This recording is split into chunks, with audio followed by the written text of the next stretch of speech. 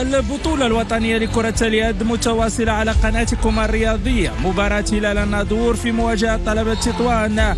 مواجهة تتابعونها يوم الثلاثاء بداية من الساعة السابعة مساء. مباشرة على قناتكم الرياضية.